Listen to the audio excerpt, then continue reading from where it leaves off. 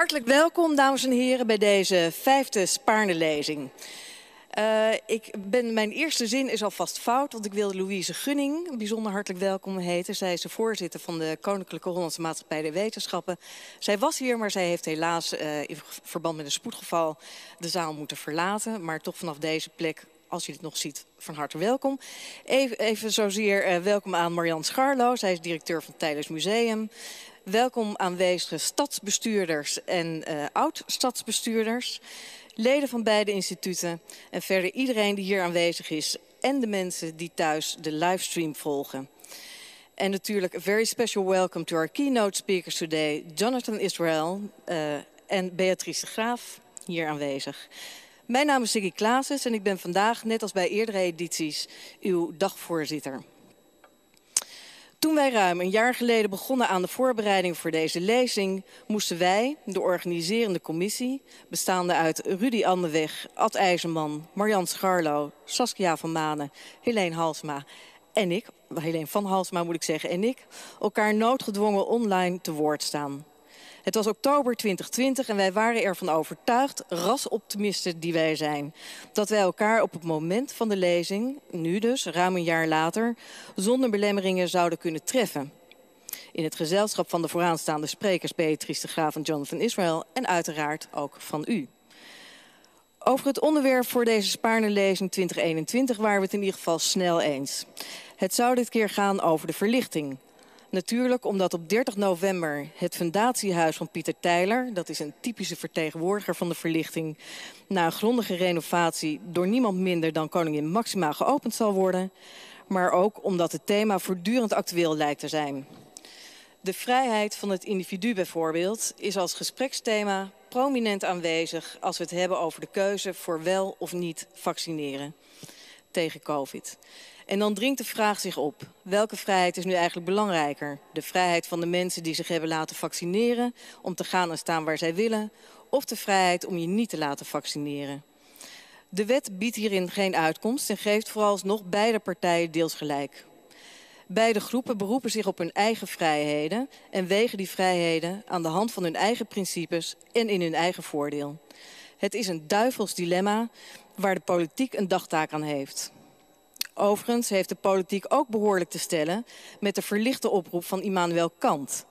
Heb de moed je van je eigen verstand te bedienen, was zijn oproep. En dat is in Nederland niet tegen doofmans oren gezegd, met alle gevolgen van dien. Kort door de bocht zou je kunnen zeggen dat de verlichting aan de basis staat van de spagaat waar wij op dit moment als samenleving in zitten. Dat was een grapje, want dat is natuurlijk niet echt waar. Het is ook heel veel goeds. En COVID heeft helaas ook zijn invloed op deze lezing. Na een tijd dat wij dachten dat we er waren... en we weer onder een aantal voorwaarden naar een restaurant, theater of bioscoop konden... en wij zachtjes aan weer begonnen te wennen aan het leven zoals het was voor de pandemie... moeten wij ons nu weer schrap zetten voor een leven met restricties. Het goede nieuws is dat u er bent. En ook zijn wij heel blij dat Beatrice de Graaf er vandaag is. Maar helaas, Jonathan Israel zag vanuit het Verenigd Koninkrijk... hoe ons land snel donkerrood begon te kleuren... en nam de zeer verstandige, maar desalniettemin verdrietige beslissing... vandaag niet lijfelijk aanwezig te zijn. Zijn lezing is opgenomen en hij is via een directe verbinding bij ons vandaag. We hebben uiteraard alle begrip voor deze keuze, maar we vinden het wel heel jammer. Voordat ik zo meteen de eerste spreker bij u zal introduceren, wil ik graag nog iets kwijt. Toen ik Marjan Scharlo, de directeur van het Museum... en Alexander Rinoy Kan, toenmalig voorzitter van de Koninklijke Hollandse Maatschappij der Wetenschappen... in 2012 benaderde met het idee om gezamenlijk een lezing te organiseren... vond ik, het, vond ik onmiddellijk bij beiden een luisterend en gewillig oor. De lezing zou voor iedereen toegankelijk moeten zijn... om zo een hedendaagse vertaling te geven van wat mij betreft de raison d'être van de twee instituten... het delen van wetenschappelijke kennis met een breed publiek. Het duurde niet lang voordat Marian en de heer Rinoy Kan het idee hadden omarmd... en Marian mij zei, ik ben nu de probleemhouder van jouw idee. Weet je het nog, Marian? Goed, dat was een term die ik tot dat moment nog nooit gehoord had... en die mij iets wat dreigend uh, overkwam. Maar dat bleek onterecht. Marian ging voortvarend aan de slag en met succes. De eerste Spaarne-lezing was legendarisch. Het onderwerp was het werk van Isaac Newton... We wachten wel even, burgemeester Snijders, voormalig burgemeester Snijders. Name and shame. Heeft u even opgenomen? Ja, goed zo. Dan ga ik even verder. Goed, uh, de eerste Spaarne-lezing uh, was legendarisch. Het onderwerp was het werk van Isaac Newton en de sprekers waren niemand minder dan Robert Dijkgraaf en Frans van Lunteren. En als klap op de vuurpijl werd er aan het einde van de lezing een eerste druk van Newtons Principia door de Hollandse maatschappij in bruikleen gegeven aan Tylers Museum, waar die nu nog steeds te vinden is. Ook bij de vier volgende lezingen, in 2015 over het klimaat, in 2017 over Lorenz, in 2019 over de opvoeding van kinderen en nu dus over de verlichting, betoonde Marjan zich een geweldige probleemhouder. Het waren en worden stuk voor stuk geweldige lezingen en Marjan bleek samen met de wetenschappelijk secretaris van de Koninklijke Hollandse Maatschappij der Wetenschappen, dit keer Ad IJzerman, hier zit hij, en Rudy Anderweg in staat om iedere keer weer gerenommeerde wetenschappers bereid te vinden om te komen spreken. Dank daarvoor. Maar Marjan zal helaas aan het einde van dit jaar afscheid nemen als directeur van Tijdens Museum en daar gaat mijn probleemhouder. Marjan, voordat ik zo meteen bij jouw opvolger Mark de Beijer ga pleiten voor een voortzetting van deze tweejaarlijkse traditie, wil ik je nu alvast enorm bedanken voor het feit dat jij je al die jaren als meesterlijk probleemhouder hebt ingezet voor iets dat begon als een vaag idee in het hoofd van een Haarlemse journalisten met een passie voor het delen van kennis en verwondering en maakte dat het uitgroeide tot een van de tradities waar Haarlem zo goed in is. Nogmaals, hartelijk dank daarvoor dan is nu het moment aangebroken. Ja.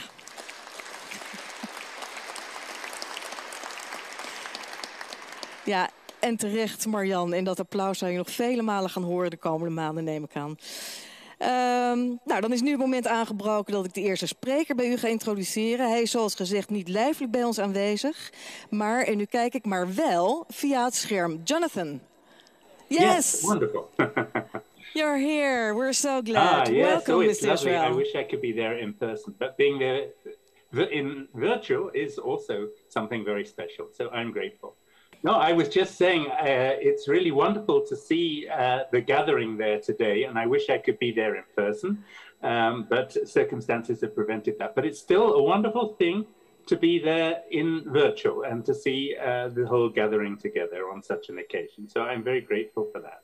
Well, the pleasure is uh, mutual, let's say. So we're here in this uh, rather chilly but beautiful old church, the Bavo, in the center of Haarlem.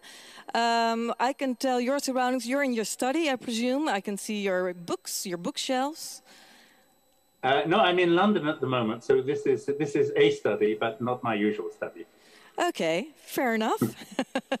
we'll we'll be watching your lecture, which has been recorded, pre-recorded, so nothing can go wrong there. And we'll talk to you afterwards, after the lecture, and maybe you can answer some questions if they arise from the audience. Yes, yes, Thank you very much. Um, Goed, sinds 2002 is eh, meneer Israël verbonden aan de Princeton Institute of Advanced Studies. Maar liefst vier monumentale boeken schreef hij over de verlichting. Daarnaast schreef hij onder andere een meer dan duizend pagina's stellend boek over de geschiedenis van de Nederlandse Republiek. Dat bleef niet onopgemerkt. Jonathan Israel is als een van de zeer weinige niet-Nederlanders onderscheiden met de Orde van de Nederlandse Leeuw. In 2012 werd hij onderscheiden met de Frans Banning Kokpenning, uitgereikt door de toenmalig burgemeester van Amsterdam, Eberhard van der Laan, voor belangrijke bijdrage aan de internationale bekendheid van de stad. Amsterdam als historische handelsstad en intellectuele vrijstaat.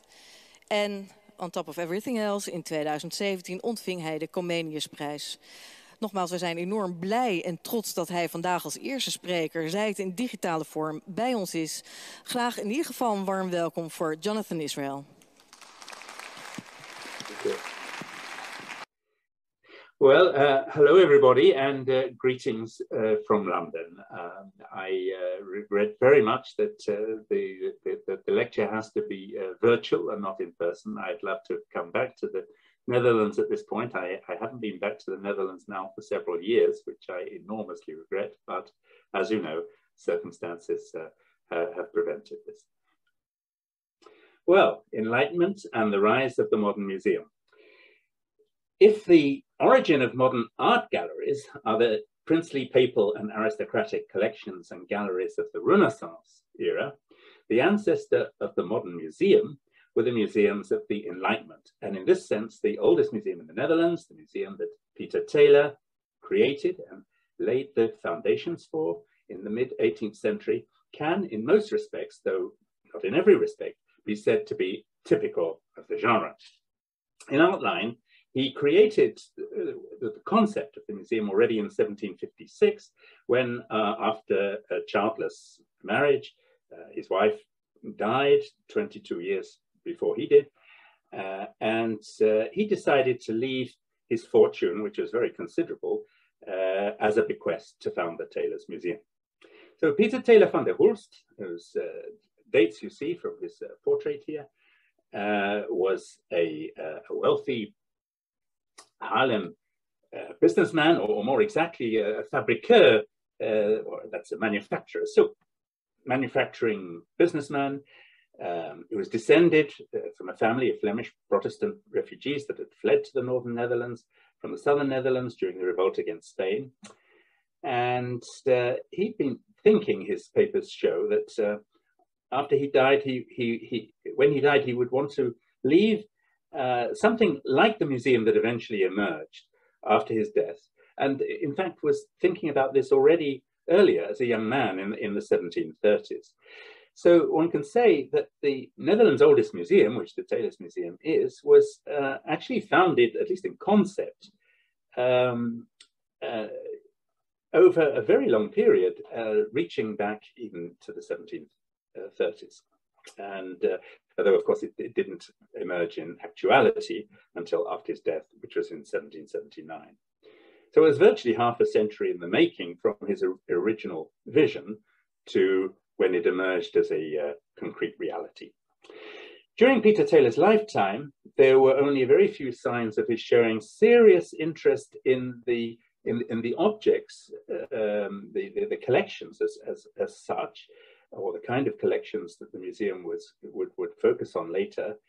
Um, and uh, although he did, for example, possess a costly folio edition of uh, Jan Swammerdam's Bijbel der Natuur, uh, one of the scientific wonders of the Dutch Golden Age, the publication of which was um, delayed long after Swammerdam's death, and which first revealed the complexity and the amazing range of the world of insects. This, the, the work was posthumously edited by Boerhaave and published only in 1738, just when Teyler, uh, just around the time that Teyler first began thinking of one day creating a museum. So uh, there were uh, signs during his lifetime, many signs really, that, that uh, yeah, sorry, what there were many more signs of during his lifetime was that uh, Peter Teyler was a devoted member of the Doopsgezinde, or the, the Mennonite church in Haarlem, and uh, as a deacon had spent many years assisting with the administration and organization of his congregation, and that his deep religious piety was uh, in important ways directly linked to his vision of what his museum should be.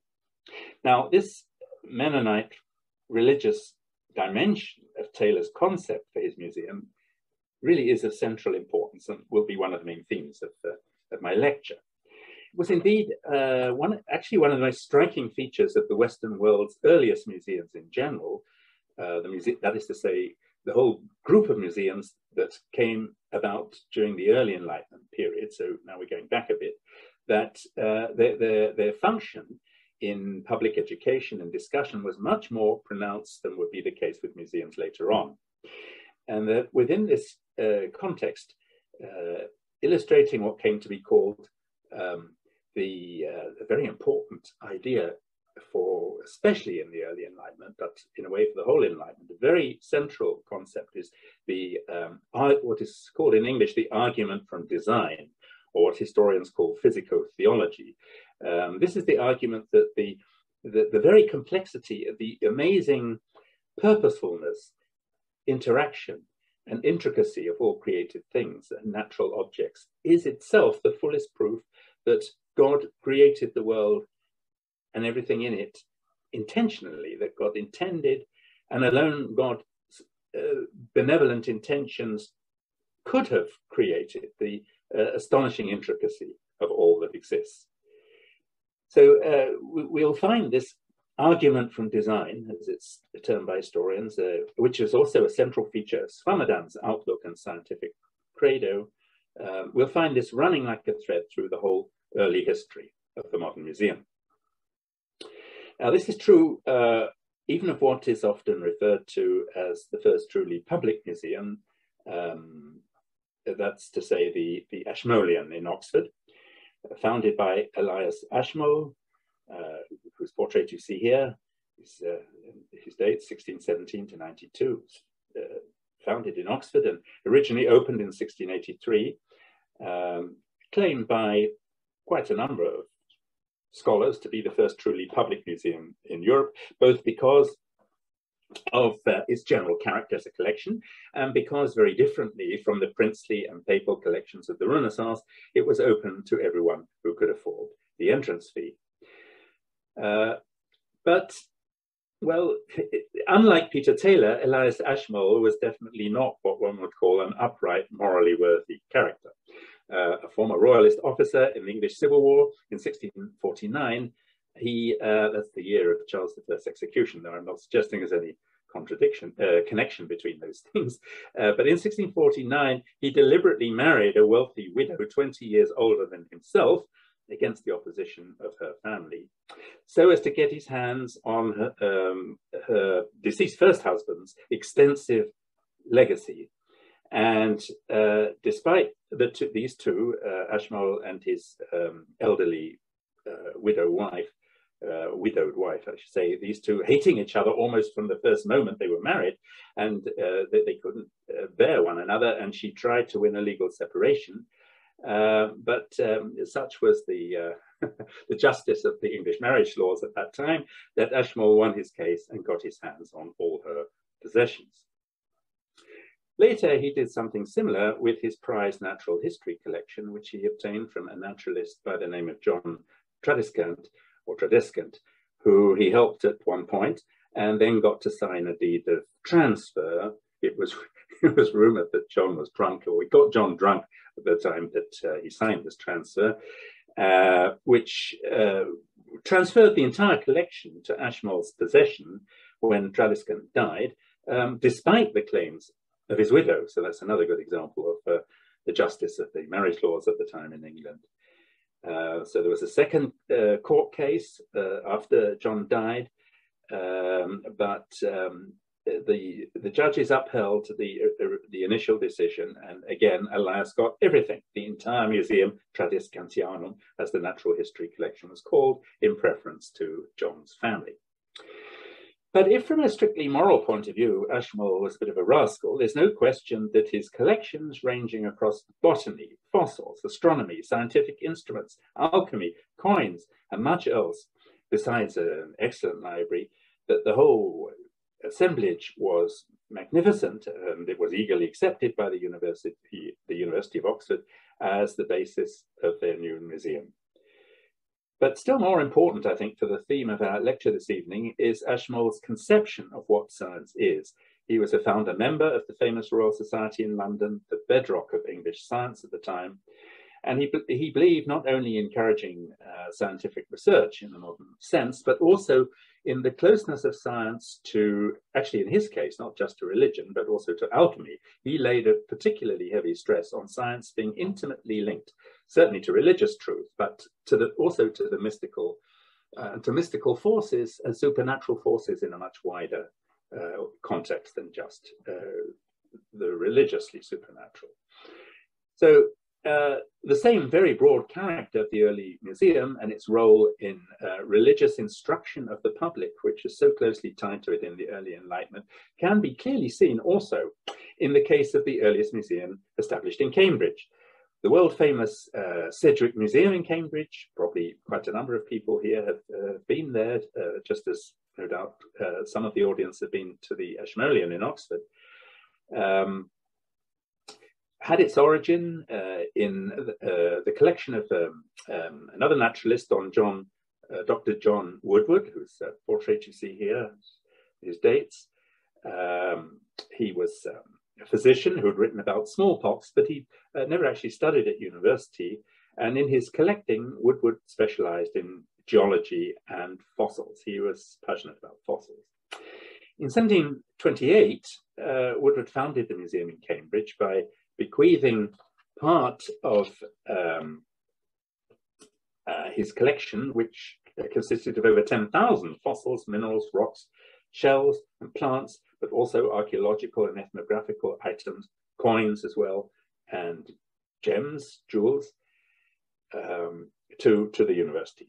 What is interesting here is the founding of the museum uh, and its didactic role. What is uh, interesting about this founding of uh, the museum and its didactic role is that Woodward's bequest uh, linked the museum to an annual series of lectures, which he also funded, and uh, through the lectures and through the, the, collections to his religious theory about the origin of fossils. Uh, and uh, sometime before, in 1695, Woodward had published a text entitled An Essay Toward a Natural History of the Earth, putting forward his scientific theory that the origin of fossils lay in the Great Flood, the, the Great Deluge in the time of Noah and Noah's Ark. Uh, just as recounted in the Bible. His theory, which met with quite a lot of opposition actually, oh, but it was endorsed by the Archbishop of Canterbury, Thomas Tenison, was that during the Great Flood, when most of the animals and plants on earth were drowned, God miraculously caused uh, their bodies to sink down through the waters into the softened muddy layers, uh, the muddy layers beneath the waters, until they became firmly embedded in the earth. And then after the floods receded, uh, they hardened, and that uh, Woodward claimed that his theory also explains um, why you find fossils, as indeed you do, even high up in mountain ranges. So uh, the theory remained controversial, but the, uh, the religious concept that science uh, does and should reflect the, the Newtonian approach to um, the relationship between science and religion, so to the Newtonian approach to the argument from design, um, that was not controversial and long remained what one might term the ideology of science in Cambridge through the whole Enlightenment era. The collections of Ashmole and Woodward achieved durability and a public institutionalized profile through being uh, bequeathed to the two great ancient universities of England, wide-ranging family private museums, or what in Dutch are usually called Rariteitenkabinetten, existed in various parts of Europe in the 16th and 17th centuries, and were often called museums. Uh, and where there were printed catalogues, these frequently described them uh, and called them museums, described them as and called them museums. An excellent example in Holland would be the renowned Museum Wildeanum on the Keizersgracht in Amsterdam, founded by a wealthy uh, ontvanger general of the Admiraliteit van Amsterdam, uh, Jacob de Wilde, uh, who states for 1645 to 1721. Um, and this museum, uh, for a time, whilst it existed, was housed in three adjoining houses. for those who are interested in the exact location, Keizersgracht numbers 333, 335, and 337 which was extremely impressive as, as a library, as a collection of scientific instruments, as a collection of gems, prints, paintings, and especially coins. This part of the collection being celebrated by the um, publication Selecta Numismata Antiqua ex Museo Jacobi de Wilde, published in Amsterdam in 1692. Uh, but more famous than that catalogue is the published engraving of this private museum, which you, uh, which you see here on the slide, uh, when it was visited by uh, the young Tsar Peter the Great, no less, in uh, December 1697. Uh, there may be interesting religious connections in this case too, since de Wilde was from a prominent remonstrant family, and his wife was actually a granddaughter of none other than Arminius himself. Still, the decisive factor in its short history is uh, that this collection was broken up immediately after de Wilde's death and sold off in part. And this kind of family museum never had much durability, public educational role, or any institutionalized lasting profile. That was the fate of these family museums. In this respect, the private family museum, with its fleeting character, was a very different entity from the kind of museum that Peter Teyler envisaged from the 1730s onwards and, pro and proposed in concrete terms when drawing up his last testament in 1756. Whether or not institutionalized and made permanent, the early Enlightenment Museum amounted to far more than just a display case of uh, curiosities. As uh, the Dutch historian Wijnand Mijnhardt has aptly said, these, and I quote, were uh, centers of knowledge production, often encyclopedic in character. These early Enlightenment house, palace, and university museums were true theaters of knowledge and wisdom, frequently intended as a visual extension of a library, bringing all branches of knowledge, the sciences, arts, and theology together into a new grand harmony, a unified panorama of human knowledge. So something really very elevated and grand indeed. In many ways, a more instructive uh, and lasting precedent for the uh, Enlightenment Museum than the Wildeanum, because the, the, family museums, for all their importance, and there were a lot of them, and they were very important, both uh, for the progress of uh, science uh, and uh, the widening of encyclopedic knowledge, and indeed for the founding of the museum itself, but they did suffer, as I say, from this crucial limitation of tending to be broken off and sold off um, after the death of the private collector who had built the collection up. Uh, now, a collection rather unique in 17th century, in the 17th century Northern Europe, was the bizarre collection known as the Theatrum Anatomicum, housed in the famous Anatomical Theatre at Leyden, originally opened in 1594. At that early point, um, it had, that's to say, at the end of the 16th century, it had nothing like the character that it would possess a century later. But in the later 17th century, it developed into a veritable showcase of natural history and the history of, uh, and, and uh, natural history of many other kinds, uh, and human history also, all fused together in the typical early Enlightenment uh, way of doing this. Um, of course, it's true that the main purpose of the Theatrum Anatomicum in Leyden was teaching and, de uh, demonstrating um, the dissection of animal and human corpses. Uh, and in term time, um, much of the steadily growing collection of the Theatrum was stored away in storerooms uh, out of sight of, um, of the public and the students. Um, but uh, during the summer, when most tourists, um, when the majority of tourists who visited the University of Leiden were there, and there was no teaching or dissection of um, either human corpses or animals going on in the Theatrum, the, then the, the full range and splendor of the Leyden collection was laid out on show.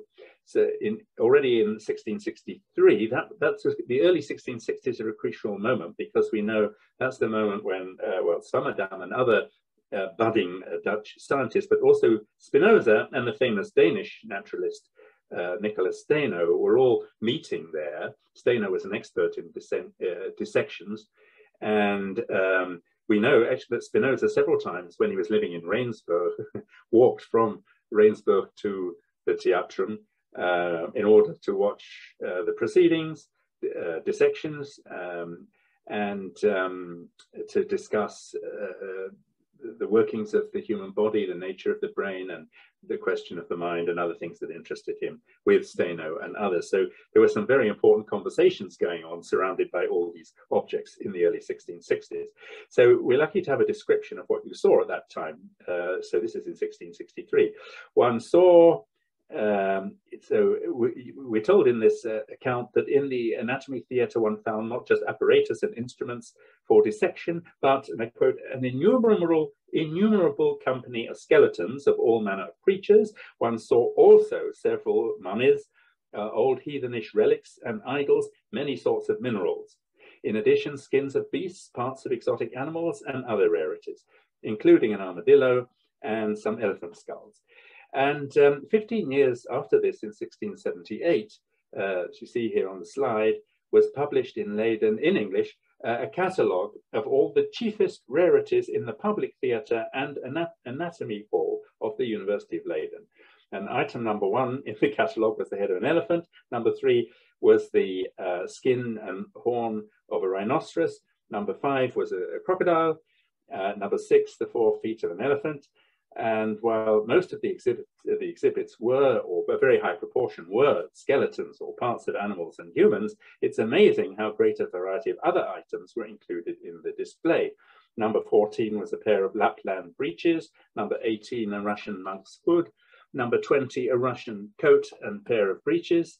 Number 21, a pair of skis, and I quote, on which the Norwegians, Laplanders, and Finlanders ride over high snowy mountains. And there were uh, there were also um, the catalogue adds.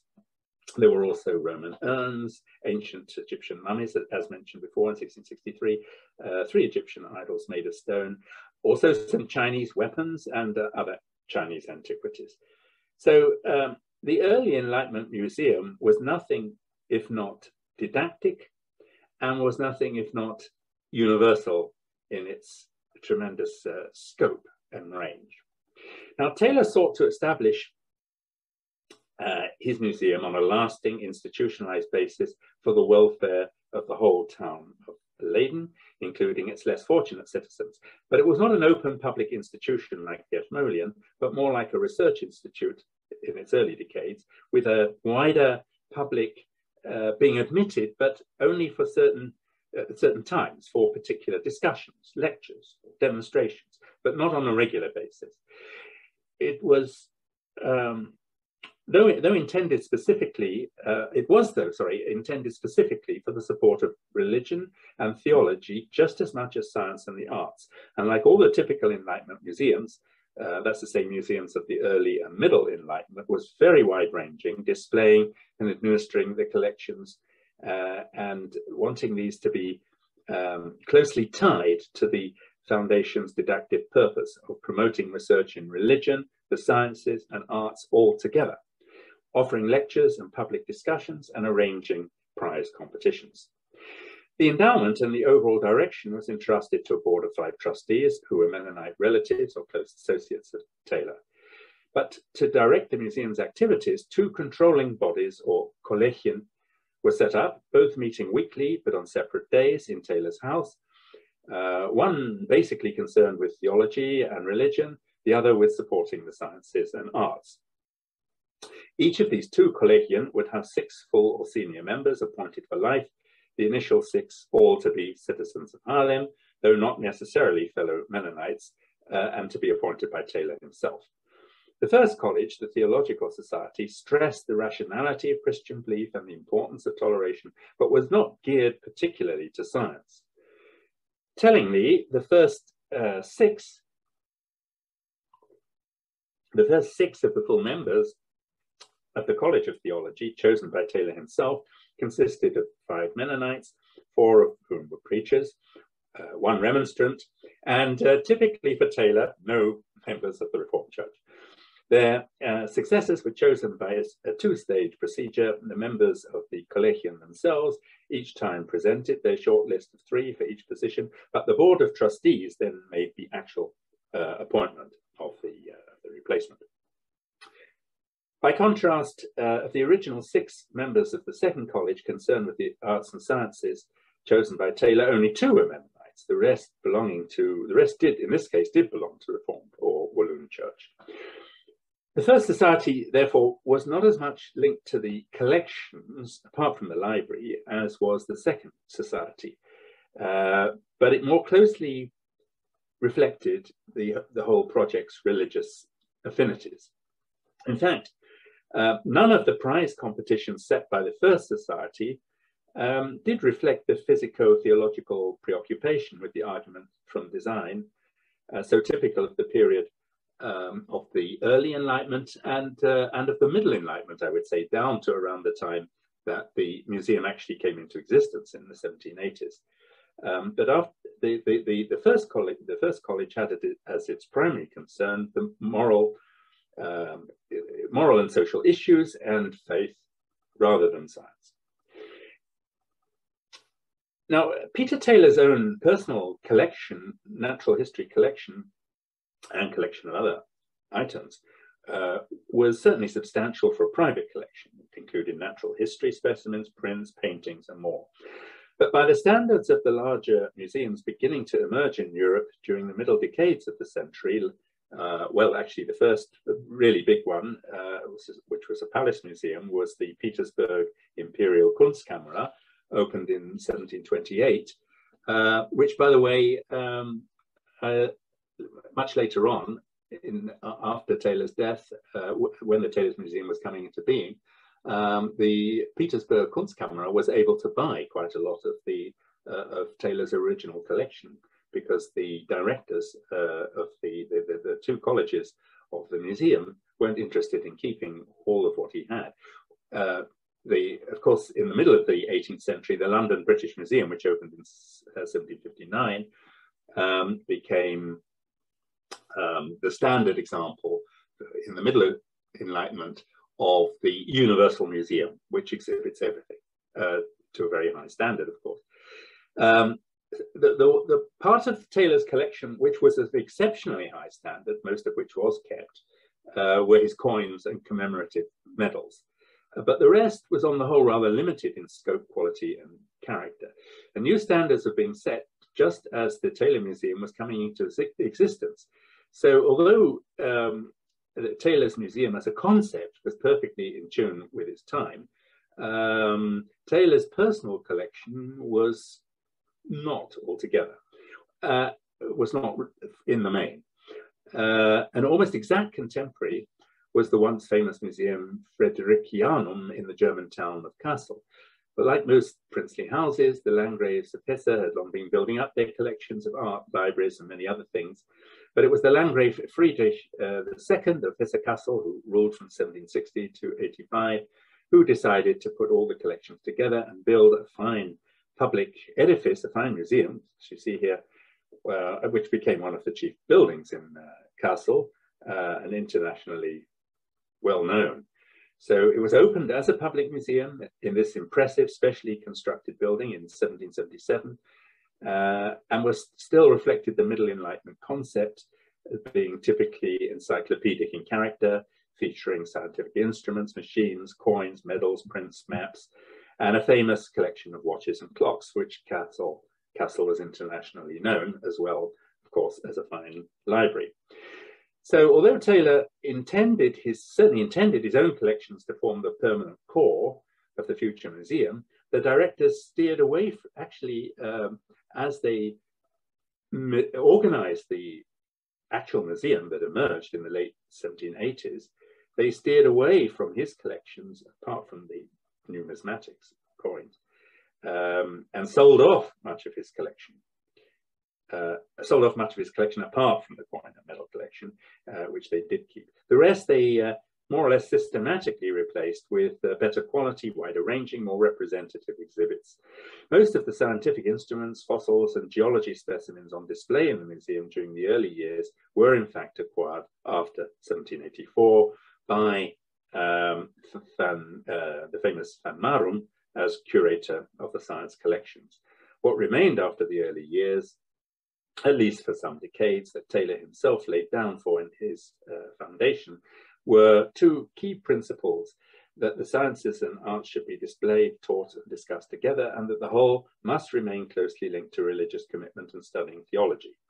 As Deborah May, Meijers, one of the scholars who has done most to elucidate the early history of the Teyler's Museum, has shown, his foundation, with its very large financial endowment of some 2 million guilders, which was really something at that time, during a period in which Haarlem, like the whole of the Dutch Republic, was experiencing economic decline, uh, it was an extension of his, um, the, the, the, museum project was an extension of his wider package of financial support for former employees, associates, for the poor in general, as much as an expression, or for the, I should say for the Haarlem poor in general, as much as an expression of Mennonite charity and faith, um, as, it, as it was an expression of zeal for the sciences and arts. The point of his foundation was not so much directly didactic as to seek renewal, revival, and improved economic conditions through research and discussion that would lift the whole of Haarlem society to a more flourishing level. Now, the early years of the Teyler's Museum fully reflected, um, however, uh, the late Enlightenment tendency um, reversing the emphasis of the early and middle Enlightenment on synthesis.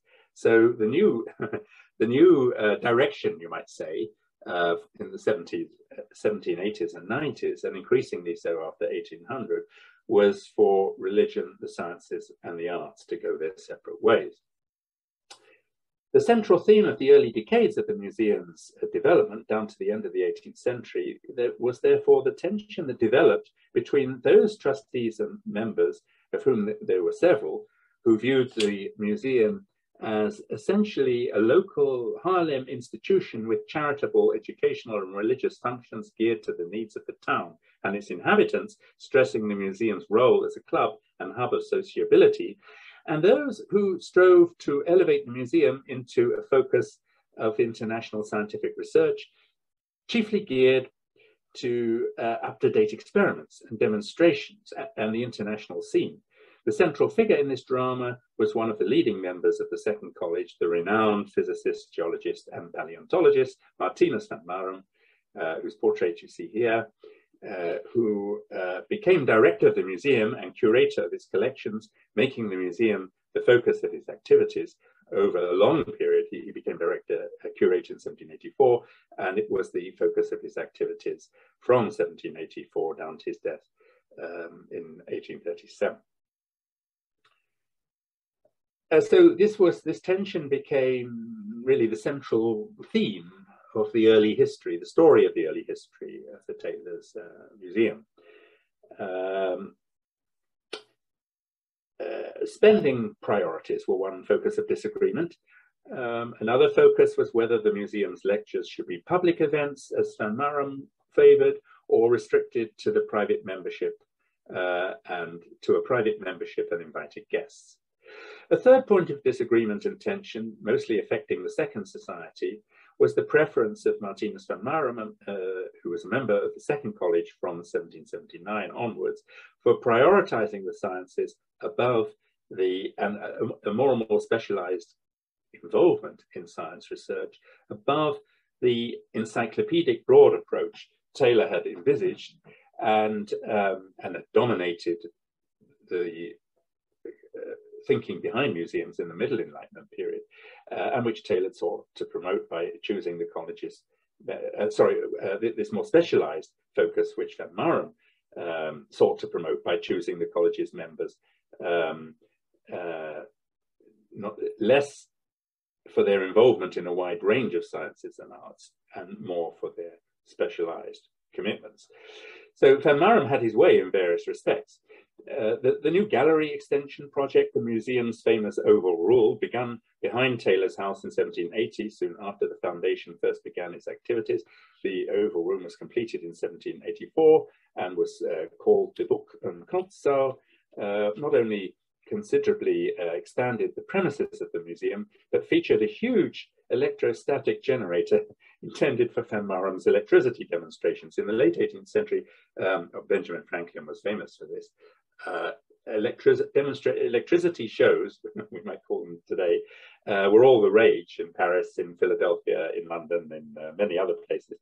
And uh, this uh, generator was specially designed and built for the museum by the English science uh, instrument maker John Cuthbertson, based in Amsterdam. The new gallery was impressive, but proved controversial from the first, since Van Marum and his supporters intended it uh, to project the scientific image of the museum to the public, while some of the trustees and college members regarded it as too expensive and too apt to divert funds from charitable work. And also, they disliked its diverting attention from what they saw as the museum's essential role to be providing books and facilities for participation in the arts, in theology, and in discussion to a closed circle of locally based regular participants. The museum's role as a local club was from the first at odds with its role as an international science research centre. Of the 10 new members of the college elected between 1790 and 1815, seven, as Deborah Meijers has shown, were primarily interested in the natural sciences and only three in the art and literature, in the arts and literature, a shift of emphasis that was also reflected in Van Marum's preference for science, science topics for the Society's prize competitions, uh, so though, uh, though, though, during the 1790s, there were still also notable new art acquisi uh, acquisitions. With one exception, um, none of the science prize competitions during the early decades were concerned with the relationship of science to religion. So that's an interesting reflection of how, when uh, the Teyler's Museum actually came into operation, the uh, philosophy, the Enlightenment philosophy of museums, you might say, had mutated from the early and middle Enlightenment pattern to this much more specialized approach, which was dominant from the 1780s or 1790s onwards. So in all these respects, the shift of emphasis engineered by Van Marum may be said to reflect the general late Enlightenment shift seen right across the then Western world, from the broad encyclopedic approach typical of the early and middle Enlightenment to a more specialized approach to the sciences, a tendency to separate the sciences from the arts and separate both arts and sciences uh, from preoccupation with theology and with religion, which had been so typical earlier. The great new foundations of this period in France, Germany, and Spain were mostly either huge art, new art galleries like the Louvre or the Prado, or else natural history collections, um, but not both, as had been the, uh, uh, but not both together, as had um, very notably been the case with the British Museum, founded in the 1750s, reflecting an earlier stage of Enlightenment, Enlightenment culture museums, you might say. One can hardly say that the broad encyclopedia, encyclopedic scheme originally envisaged by Peter Teyler disappeared uh, altogether, however. Um, the collection, and this is what makes the Teyler Museum so interesting, that the collections did preserve his concept and did not, did not um, altogether go down the road towards uh, specialization, which um, you see in so many other instances. Uh, of the 18 prize competitions mounted by the Second Society between 1796 and 1815, eight were concerned with the natural uh, sciences, but uh, four were still concerned with history, three with poetry, two the visual arts, and one with numismatics. There was undeniably a, queer, a, a clear shift away from the early emphasis on the early uh, on the visual arts and uh, the connections with religion toward the natural sciences, reflecting the um, the, the, the, the, museum culture of the late Enlightenment, but it only went so far, and it most certainly did not erase um, the uh, it did not erase the um, original concept of Teyler. So let me conclude the, the lecture by saying um, it is therefore with considerable justification that uh, one can conclude that the Teyler's Museum is not just um, the oldest surviving true museum in the Netherlands, but uh, perhaps the only one, not just in the Netherlands, but anywhere, um, with the exception perhaps of the, the, the British Museum, which also still uh, retains at least the Middle Enlightenment concept. Um, but and, and, certainly the Teyler's Museum does this to a much greater extent than the Ashmolean or the Sedgwick, uh, that still uh, today uh, visually reflects, I think even more than the British Museum in a way, visually reflects the birth and early stages. So there you can see the transition from early to middle to late Enlightenment, the birth and early stages of the development um, of the, the European Museum in its Enlightenment context.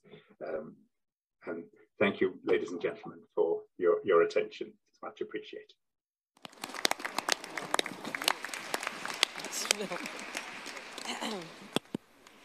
um, thank you very much, Mr. Israel, if you're there. Yes, yes, I am here. Okay, can you hear me? Hear, yes, yes. And Good. it just dawned on me, when I talk to you like this, you will be probably be looking at the back of my head. Am I right?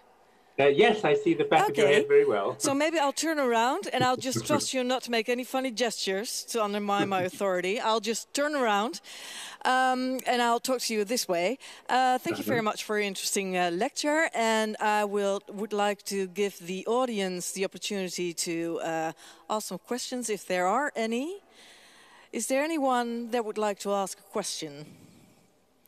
And we, all, we also had a, a, live stream, so people that were looking at home, they can also ask questions through the live stream. I'm looking at us. Is there any questions coming in through live stream? Okay. If there's no questions right now from the audience, usually what happens is that once somebody starts asking questions, people go, oh, okay, yeah, I'll do the same. So just uh, if you thought of a question, this is the time to ask it. There was this one question on um, the foundation of the museum, which was like 100 years later than the Ashmole Museum. And Teylers, when reflecting on what to do, did he have some ideas himself what should be different from 1683? Because many museum curators today um, think it should be different than 100 years ago. How was that?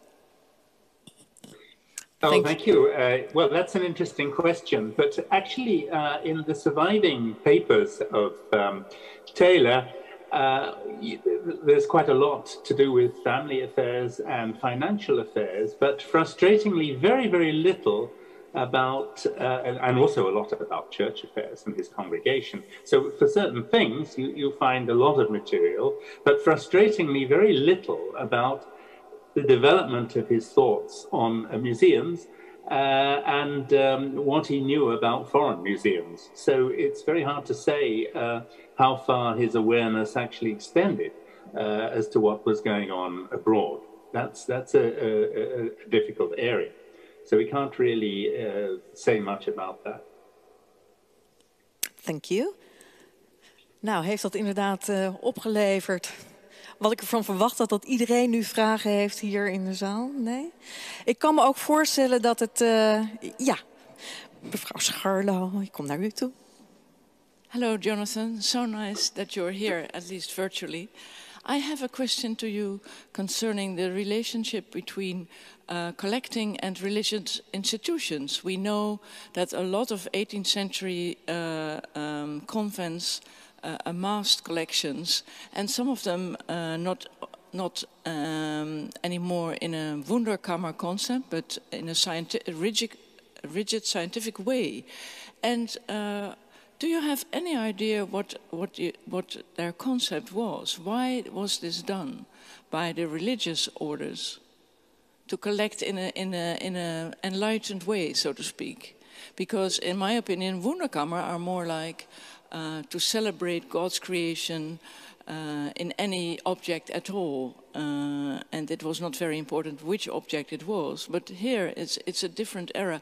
And I think, for example, in uh, convents in Austria and even in, in, in Spain and Italy, there was a, a tradition of collecting in an enlightened way.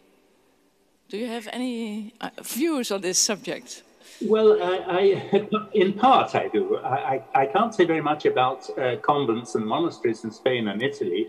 I would be surprised if they took their uh, Enlightenment interests very far. I don't think that they did. I, I, in any case, rather ignorant about their collecting. But it is certainly true. I think it's one of, indeed, one of the most pronounced features of the Enlightenment that. Um, uh, not only Protestant, I, Protestant clergymen, I think it's particularly true of Protestant clergymen, but it is also true of um, Catholic clergy, in, uh, including monks, also rabbis who can see this tendency to, uh, to a, a, minor extent uh, in the 18th century. It becomes extremely important um, to uh, keep up with the latest scholarly and scientific advances and demonstrate to their congregations that uh, their theology, that the religious teaching that they are giving them, is very closely entwined with everything important that's happening in the sciences and in the scholarly world. That was extremely high priority in the 18th century, and it, and it is one of the main concerns of many, uh, uh very many of the most important uh, religious writers of the 18th century. You would see this uh, just all over the place. Um, and um, whether it's a, a, great Catholic Bible critic like uh, Richard Simon, say at the end of the 17th century, it really doesn't matter. The, the, the, the, religious books throughout the 18th century um, uh, constantly um, uh, Samuel Clarke in the early 18th century is one of the great examples in England who was uh, so uh, passionately concerned to bring theology as close as he could to the Newtonian conception of science to, um, to uh, serve the, the, the, churches and, and religion in this way.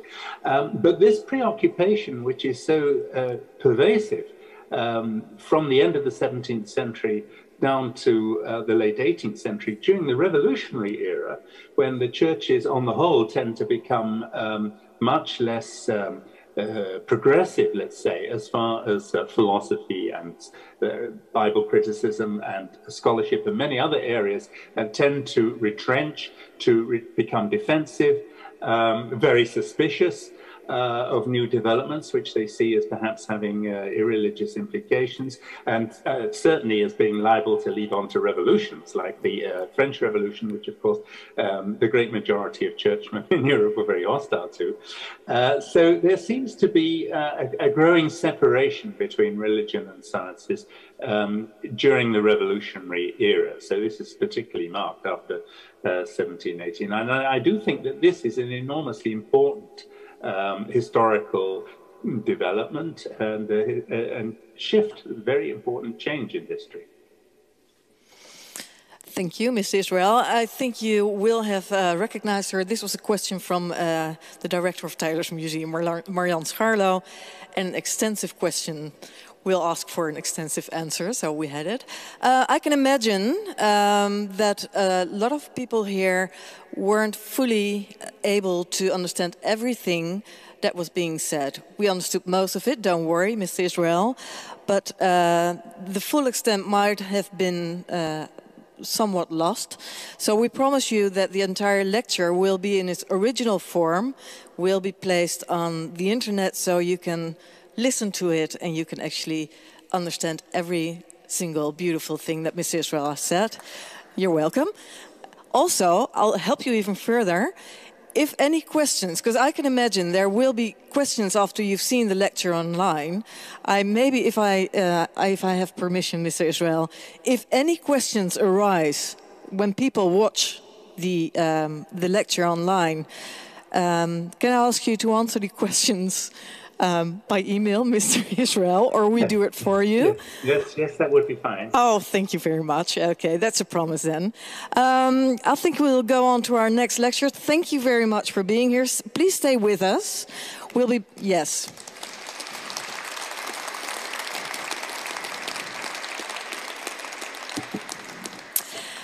Stay with us and we'll come back to you at the end of the lecture and maybe there's some more questions you might be able to answer along. Thank you very much so far. And I'd like to ask uh, Chris and uh, assistants to come back with the thing.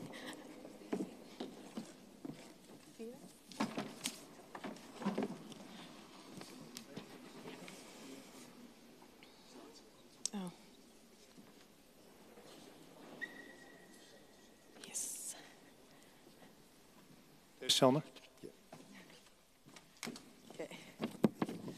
Ja, we gaan over op deze uh, microfoon en ik uh, ga de tweede spreker bij u aankondigen. Um, Beatrice de Graaf, dat is haar naam. Zij studeerde geschiedenis en Duits aan de Universiteit in Utrecht en de Universiteit van Bonn. Ze ontving in 2005 de Max van der Stoel Mensenrechtenprijs. Ze werkt als universitair docent aan de Universiteit van Utrecht en Leiden. In 2007 was zij medeoprichter van het uh, oprichtster, moet ik zeggen, van het Center for Terrorism and Counterterrorism, verbonden aan de campus van Den Haag.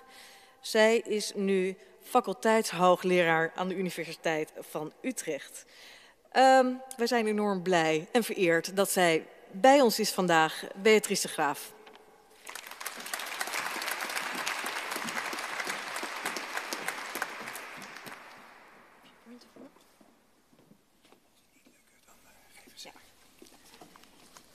Dankjewel uh, Ziggy voor de introductie. Dank u wel voor de uitnodiging aan de organisatoren. Het is voor mij uh, nog bijzonderder om hier te staan vandaag, omdat ik uh, sinds kort ben toegetreden tot het genootschap dat Jonathan Israel ook in zijn lezing noemde, het Tweede Tylers Genootschap. Dus ik weet niet of er hier iemand nog lid is van een vereniging die ouder is dan 300 jaar, 200 jaar ben, ik ben daar toch wel heel trots op. Dus ik vind het extra bijzonder om hier te zijn. De overheid mag geen flipperkast zijn.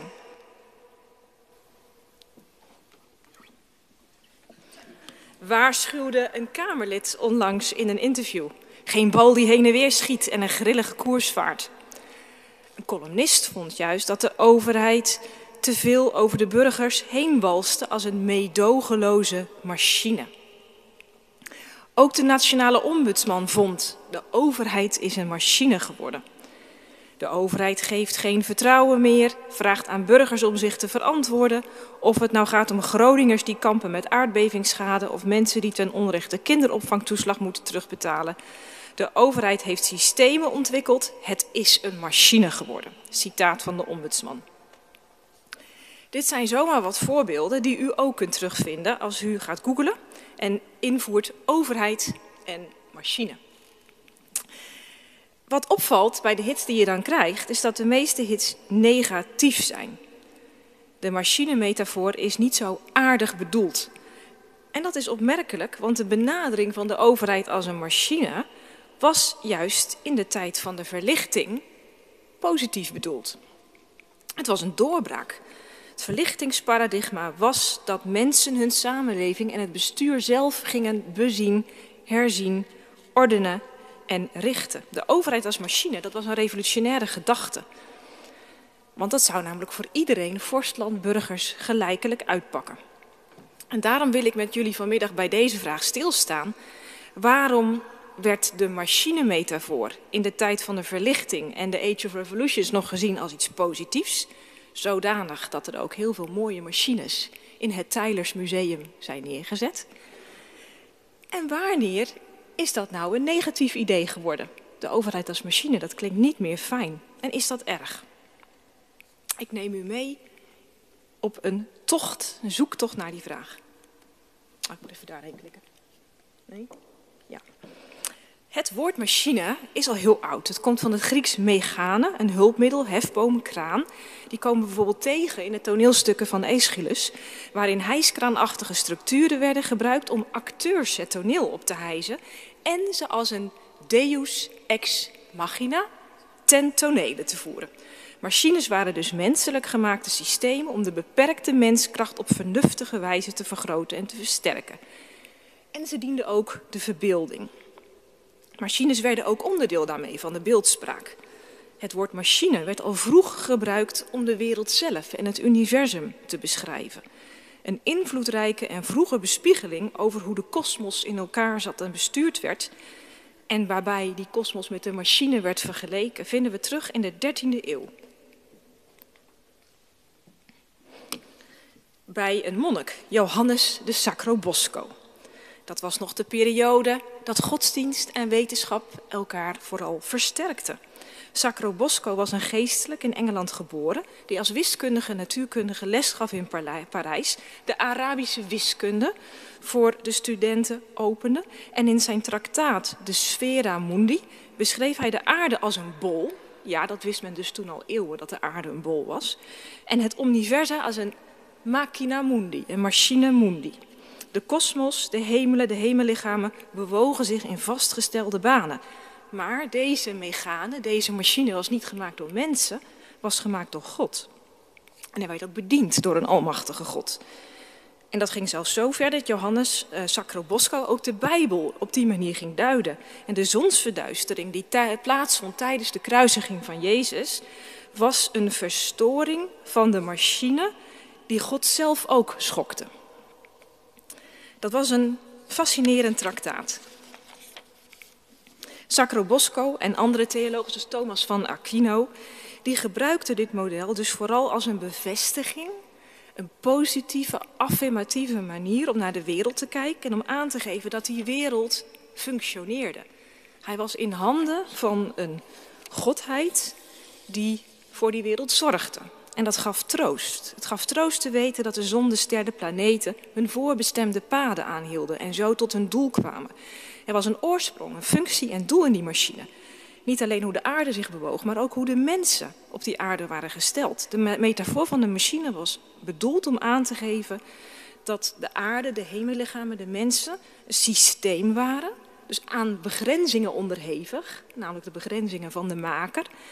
En door de schepper waren bedacht en in beweging gezet om tot een doel te komen. Alles en iedereen had een plaats. Het was dus een gedachte die die mensen troost gaf. denkers van de verlichting gaven een hele nieuwe draai aan die metafoor van de machine. Met de mechanisering van het wereldbeeld begonnen filosofen als Gottfried Wilhelm Leibniz, Thomas Hobbes, René Descartes de wereld en het universum te zien als samengesteld, ja, uit meetbare, berekenbare wetmatigheden. Dat was eigenlijk nog een vervolg van die scholastiek. Dat gingen ze dus ook proberen. En opnieuw kwamen er dus allemaal meetinstrumenten in Tylers terecht. De unster, de balans, instrumenten om lucht te meten, uh, om dat te laten zien. Maar zij gebruikten met voorliefde de metafoor van het uurwerk. Ook dat uurwerk was een machine, netjes in elkaar gezet. Maar volgens Leipzig was dat, Leibniz was dat uurwerk ooit bedacht, gemaakt en opgedraaid, opgewonden. En daarna tikte het door en had die schepper zich daarvan teruggetrokken. En deze denkers beriepen zich op de bewegingswetten van Newton, allerlei vastgestelde principes van de zwaartekracht en ze projecteerden die logica en het bijbehorend optimistisch rationalisme op de wereld en het universum. Dat was overigens niet helemaal in de zin van Newton zelf. Er is een beroemde correspondentie, de Clark-Leibniz-correspondentie. Uh, en men denkt wel dat Newton achter de schrijfsels van Clark zat, waarin dus Clark, alias Newton, zegt: Als je uh, God in de bijrol duwt van een klokkenmaker, krijg je een koud en een mechanistisch wereldbeeld. En dat is niet de bedoeling. Dan, dan vergeet je dat er ook altijd nog een troostende en intervenerende hand van de schepper in het hier en nu is. Dus Leibniz zag de wereld ten onrechte als een kil mechaniek, vond Newton. Nou, dat kon Newton wel vinden, maar inmiddels was die mechanisering zo ver doorgeschoten of doorgeontwikkeld dat hij ook op de staats- en de bestuursleer werd toegepast. Dus de kosmos, de wereld, de wetenschap, nu ook de overheid, de staat en de samenleving werd beschouwd als machine. Thomas Hobbes beschreef in de introductie van zijn baanbrekende werk Leviathan hoe de staat en de overheid, de civitas, als een automata, een machina, in elkaar waren gezet. De staat was een artificial man, een kunstmatige ja, persoonlijkheid, een robot zou je kunnen zeggen, samengesteld uit diverse onderdelen, lagere en hogere overheden, wetten en instituties, in elkaar gezet om ook een doel te dienen, de salus populi, de welvaart en de veiligheid van het volk. En de soevereiniteit gaf leven aan die automata. En de soevereiniteit, dat was niet God, dat was de demos, het staatsvolk zelf. Deze filosofische opvatting van de overheid en de samenleving als automaten, als machina, sloot aan bij een hele praktische ontwikkeling, de leer van de kameralistiek, kameralistiek die eind 17e eeuw in de Duitse vorstendommen was opgekomen, als een poging om daar weer ratio en logica in het bestuur aan te brengen van de Duitse vorstendommen die volstrekt vernietigd waren geraakt in de Dertigjarige Oorlog en na 1648. Barbara Stolberg-Rielinger, een uh, historicus uit Berlijn, heeft in haar proefschrift uitgelegd dat de Pruisische bureaucraten ook uitgingen van de machine als beeldspraak. Kameralistiek zag het staatsapparaat als een machine die met oog voor detail en logica aan elkaar moest worden gezet. En die machine die functioneerde volgens een bepaald plan, een systema, een blauwdruk. En als de machthebbers nou met elkaar een goed systeem bedachten, systema, en dat als het ware als een soort ponsplaatje in zo'n machine voerden, dan zou ook het beleid dienovereenkomstig, logisch, aangenaam en wenselijk zijn. Niet alleen de binnenlandse verhoudingen werden als systema gezien, ook het internationale statenstelsel werd zo gezien. Dat was interessant, want in Immanuel Kant, de grote denker van de, late verlichting, zag de overheid en de samenleving en het internationale statenstelsel nog als organisme, als lichaam. En zijn traktaat Zum eeuwigen Frieden heeft hij het over de internationale samenleving als, als, als lichaam, als körper. Maar in toenemende mate kwam het beeld van de machine op. En er was iets en daar moest je met dwang en met, met, met, met mechanica in, in gang zetten. Ah ja, daar is het plaatje. De wereld was een machtsbalans.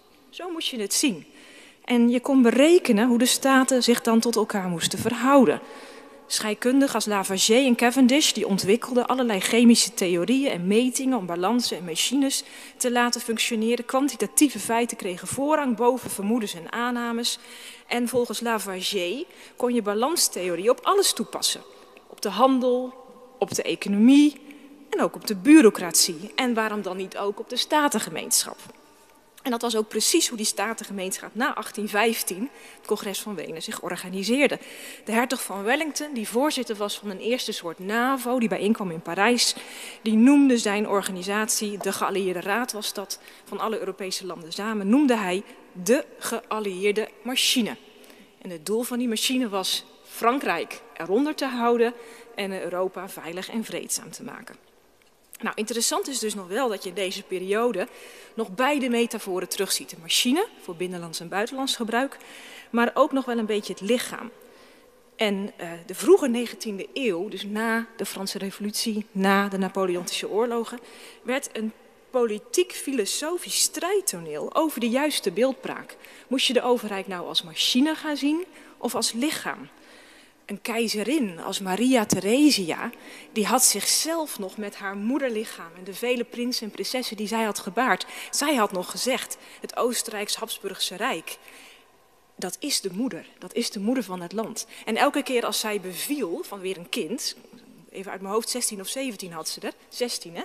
Dan liet ze zich, werkelijk waar, ik heb daar geen plaatje kunnen vinden, maar Barbara Stolberg-Rielingen, die ik net al noemde, heeft een prachtige biografie over Maria Theresia geschreven, vorstin van de verlichting. Maar zij liet zich dan in haar bed, waar zij net haar kind ter wereld had gebracht, met baby en al, door de straten van eh, Wenen dragen, om aan de mensen te laten zien, ah, ik leef nog, hè, ik ben nog de baas. Uh, ik heb weer een succesvol baby gebaard, een soort vruchtbaarheidscultus. Maar ook, ik ben jullie moeder. Ik ben de moeder van de staat. Op een andere manier dan zo'n plastische manier deed uh, koning Willem I het ook. Toen hij in 1813 aantrad als vorst. Toen zei hij, een beetje analoog aan Willem van Oranje... ik ben opnieuw de vader van het vaderland. En één keer per week, volgens mij dinsdagochtend, opende hij dan ook het paleis... en dan mochten de mensen met hun zorgen en hun klachten bij hem komen. En de het land, de samenleving, dat was zijn familie. Er waren natuurlijk ook dan geen burgers hè, met mensenrechten, het waren onderdaan of kinderen van het huisgezin. Dus je voelt wel aan dat de metafoor die je gebruikt, dat die een bepaalde lading heeft. Is de vorst het hoofd van het lichaam? Ja, zeiden Maria Theresia en Willem I. Of is de vorst onderdeel van het constitutioneel mechanisme, met het volk als constitutief element en fundament van de machine? Nou, toenemende mate kwam die machinemetafoor op. Onder andere uitgedacht door een filosoof als Jeremy Bentham, die de bureaucratie ging zien als het apparaat dat op steeds betere, slimmere, efficiëntere wijze zoveel mogelijk geluk voor zoveel mogelijk mensen moest bereiken. Nou had je machine nodig, dat kon niet één vorst alleen. Ik spring naar de 20e eeuw. Hobbes, Bentham en de zijnen wonnen als het gaat om de besturing van staat en overheid voorlopig het pleit in de westerse wereld. De machine van de bureaucratie deed zijn intrede. Maar ook de machine van de checks en balances, moderne constituties. Met macht en tegenmacht. De machines van beleid en bestuur begonnen in de 19e eeuw, zeker na de revoluties van 1848, vrolijk te zoomen als drijfkracht achter modernisering, rationalisering en centralisering. In toenemende mate leek traditie, gewoonterecht, feodale fragmentarisatie het pleit te verliezen. Of niet? Heeft de mechanisering van ons wereldbeeld, ons beleid en bestuur, met de woorden van Max Weber, die als een tovenaar met eigenlijk afgrijzen naar zijn tovenaarsleerling keek, die bureaucratie, heeft dat niet tot onttovering geleid. Tot het verdringen van het oorspronkelijke doel van het mechanisme. Want rationalisering leidde tot atomisering, tot anonimisering. En het is maar de vraag of het doel van de machine nog steeds een zo groot mogelijk geluk voor zoveel mogelijk mensen is. En of niet, steeds een, of niet een steeds kleinere groep mensen wereldwijd van de rijkdommen van ons wereldsysteem profiteert. En dat het niet om zoveel mogelijk geluk gaat voor zoveel mogelijk mensen, maar om zoveel mogelijk geluk voor zo min mogelijk mensen. In Nederland is de gelijkheid groot. De machine van de herverdeling functioneert hier optimaal, zo blijkt uit recent onderzoek. Toch hebben steeds meer mensen het gevoel, minder mensen het gevoel, dat die overheid hun machine is. Dat zij achter de knoppen zitten. Controleren zij de machine of controleert de machine hen? Recent onderzoek liet zien dat het verlies van vertrouwen van de burgers in de overheid heel snel is gekelderd. De afgelopen anderhalf jaar van 70 naar 30 procent. De terugtredende overheid, zo zegt men, heeft plaatsgemaakt voor een BV Nederland. Maar wie zijn daarvan de aandeelhouders? Machinemetaforen zijn er weer, maar ze zijn niet meer zo optimistisch, zo troostrijk, zo mooi bedoeld als in de tijd van de verlichting. Ze boezemen de burger angst in. Machinemetaforen, dan denken mensen aan artificial intelligence, dat het van ons gaat overnemen en dat zij redundant worden. Een klein groepje, maar best wel een vocaal groepje mensen denkt aan een great reset. Het systeem wordt geherprogrammeerd door het World Economic Forum. En met één druk op de knop raken bona fide burgers uitgeplucht. En de QR-code, is dat niet ook een manier om ons allemaal aan die machine te onderwerpen? En in antwoord daarop, zoals we dat ook eerder in de 20e eeuw zagen, zien we weer de metafoor van het lichaam. Het lichaam, het volk, de volksgemeenschap, een organische etnische eenheid. Geen nare machine, geen koud wereldbeeld. Een veilig, warm, lichamelijk gevoel, gezuiverd van vijandige vreemde elementen. Biologisch zuiver het liefst. Ons eigen lichaam, dat volkslichaam, dat is heilig. Nou, we weten waartoe zo'n organisch, biologische metafoor kan leiden. Ik kom tot een einde van mijn lezing maar niet zonder wat licht en uitzicht mee te geven in deze mooie kerk en met een beroep op de verlichting. Doel van de metafoor van de machine was ooit in de tijd van de scholastiek de mens te wijzen op de troost, de volmaaktheid van de schepping en de almacht van een God, een schepper en een vader, die ook in tijden van angst en verwarring de wereld in zijn handen hield. De verlichtingsfilosofen schoven die God min of meer aan de kant, niet allemaal, maar zij zeiden vooral, de schoonheid van de schepping, ja, die is er. Die gaan we nog beter in kaart brengen. Kunstig de wetten en de principes onderzoeken. Zij worstelden ook natuurlijk wel met de theodicee. Dat was natuurlijk Leibniz zelf die daarmee worstelde. Hoe kan het dan misgaan? Waarom gaat het dan toch niet zoals we willen? Nou, zij zeiden als antwoord daarop, dan moeten we nog meer kennis vergaren, nog meer wetenschap, kennis, eh, kennis en kunde verzamelen, om dat systeem, die machine, toch weer beter aan de praat te krijgen. Hoe moeten we daar nou mee omgaan?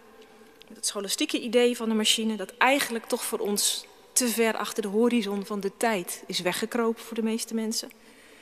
De machinemetafoor van de verlichting is ook niet meer in zwang. Anno 21 zitten we opgescheept met overheden als flippenkasten. We weten niet meer wie er aan de knoppen zit, of er überhaupt iemand ergens aan draait. Niemand wil aan de knoppen gezeten hebben. Ik heb het niet gedaan. Algoritmes en regels zijn zo onvoorspelbaar geworden voor de burgers. De toeslagenaffaire laat zien dat iedereen doelloos en enigszins radeloos over elkaar heen buitelt. Maar daarbij wordt er ook over mensen heen gewalst. Het troostrijke gebruik van de metafoor van de goddelijke machine is niet meer te gebruiken. Tenminste niet voor de meeste mensen. Maar kunnen we nog iets met de ideeën van Leibniz, Hobbes, Bentham, Newton? Het is in het licht van de verlichting opmerkelijk dat er inderdaad weer burgers beginnen te praten over machines. Dat zij aan de knoppen willen zitten. Misschien moeten we het zien als iets positiefs. Mensen willen best meedoen. Ze willen meehelpen die machine aan de praat te krijgen. En als ze het gevoel hebben dat ze niet mee mogen doen, ja, dan gaan ze ideeën bedenken over great resets en allemaal andere zaken. Uh, maar eigenlijk is dat ook een vorm van hyperrationaliteit. Als er iets misgaat, moet er ergens iemand een complot is eigenlijk een hyperrationele kijk op de werkelijkheid. Er moet eigenlijk ergens een machinatie zijn, een machine. Iemand moet iets doen, want anders houden we het niet vol. Het kan niet compleet willekeurig zijn. De denkers van de verlichting hadden een visioen.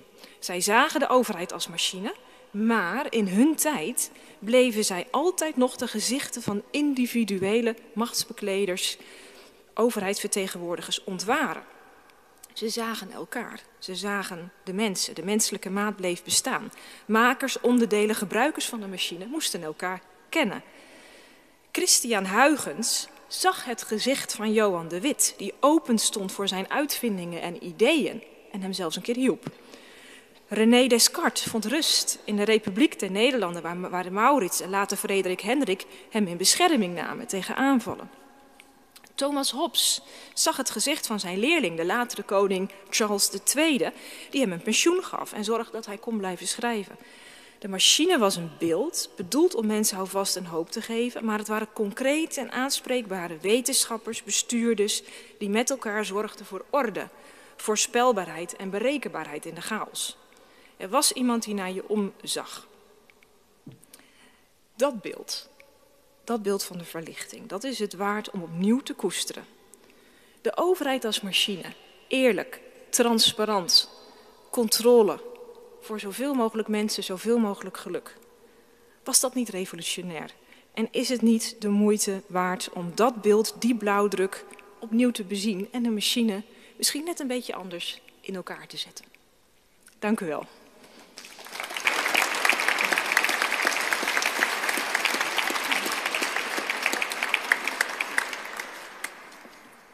Dankjewel Beatrice voor je fantastische verhelderende lezing. Er komen allemaal vragen in mij op, maar ja, ik ben niet aan de beurt hè. Maar het publiek is wel aan de beurt. En ik kan me voorstellen dat er best wat vragen zijn die naar voren zijn gekomen aan de hand van uh, de lezing die we zojuist gehoord hebben. Is er iemand die het spits durft af te bijten? Jos. Ja, onze burgemeester, meneer Wienen.